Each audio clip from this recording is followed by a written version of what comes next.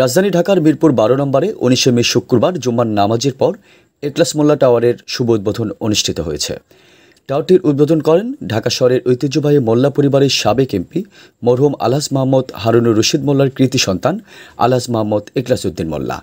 এ সময় আরও উপস্থিত ছিলেন মোল্লা পরিবারের বারবার নির্বাচিত ঢাকা ষোলো আসনের সংসদ সদস্য আলহাজ মোহাম্মদ ইলিয়াস উদ্দিন মোল্লা, আলী মোল্লা ও বিপ্লব মোল্লা। একলাস মোল্লা টাওয়ারের নিচতলায় মোল্লা পরিবারের বড় নাতি ইমরান উদ্দিন মোল্লার অফিস উদ্বোধন ও মিলাদের আয়োজনে আরও উপস্থিত ছিলেন একলাসউদ্দিন মোল্লা ছেলে রায়হান মোল্লা মোহাম্মদ ইলাসউদ্দিন মোল্লা ছেলে আয়াজ মোল্লা, আলী মোল্লা ছেলে আলিফ মোল্লা, বিপ্লব মোল্লা ছেলে মোহাম্মদ মোল্লা ও কাউন্সিলর জনিসহ আরও অনেকে। উদ্বোধনকালে মোল্লা পরিবারের কৃতি সন্তান আলহাজ মোহাম্মদ একলাসউদ্দিন মোল্লা বলেন, মিরপুরের ঐতিহ্যবাহী মোল্লা পরিবার সারা জীবন জনগণকে নিয়ে ভেবেছে। তাদের সুখ দুঃখে সর্বদাই পাশে থেকেছে। যতদিন মোল্লা পরিবার বেঁচে থাকবে, ততদিন জনগণের জন্য কাজ করে যাবে। মিরপুরবাসী মোল্লা পরিবারকে ভালোবাসে কারণ এ পরিবার সমাজের অবহেলিত মানুষের কথা বলে এবং তাদের দুর্দশায় পাশে থাকে।